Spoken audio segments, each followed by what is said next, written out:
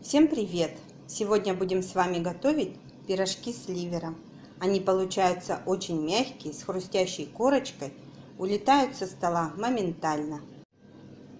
Если вам интересно, как приготовить такие пирожки, оставайтесь со мной и мы начинаем.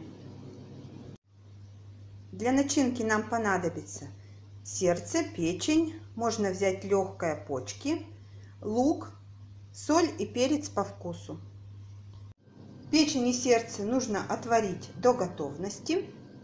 Лук мелко измельчаем и обжариваем его на столовой ложке растительного масла до золотистого цвета.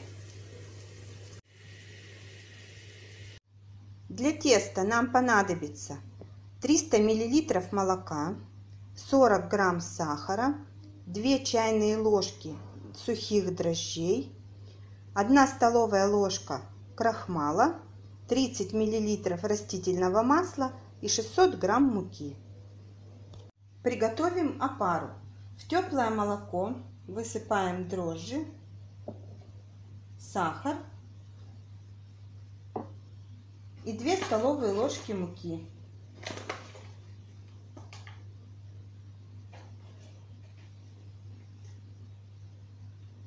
Все это перемешиваем и оставляем на 15 минут, чтобы дрожжи начали действовать.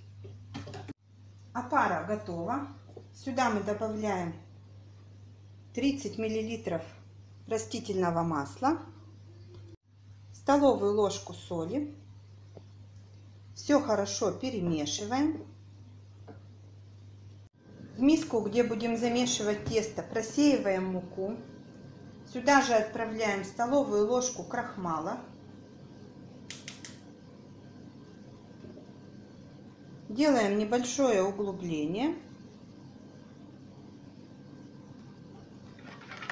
И выливаем сюда нашу опару.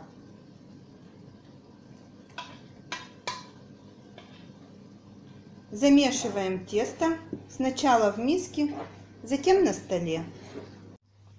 Стенки миски и дно смазываем подсолнечным маслом.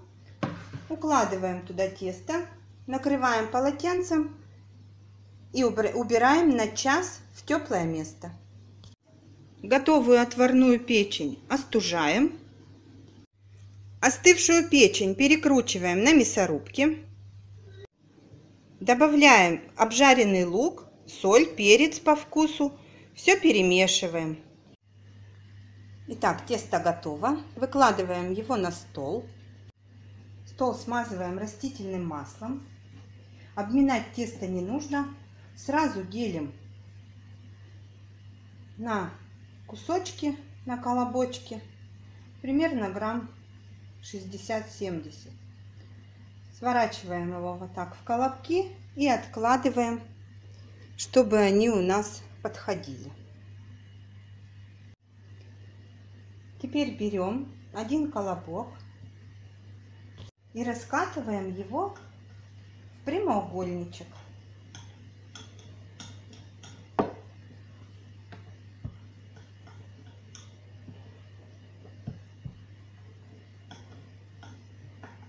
Раскатываем тонко, примерно 2-3 миллиметра.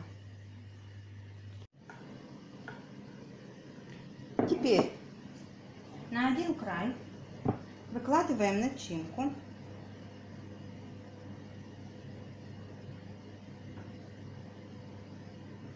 И закручиваем в колбаску.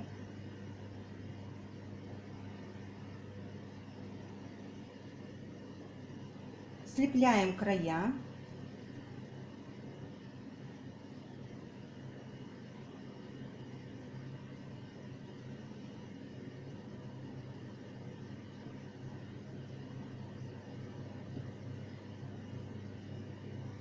И защипываем бока.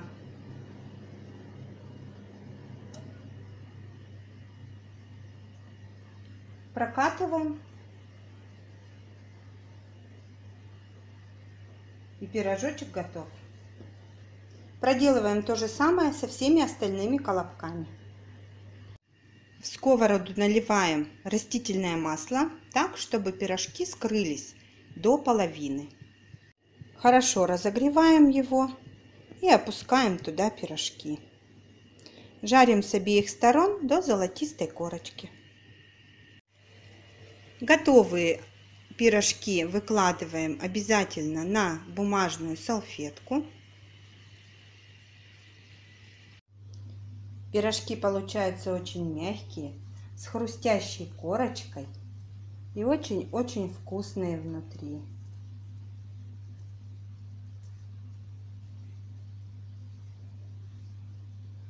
Желаю всем приятного аппетита! Готовьте и балуйте своих близких вкусной выпечкой. Если вам понравился мой рецепт, ставьте лайк, подписывайтесь на мой канал. До новых встреч, всем пока!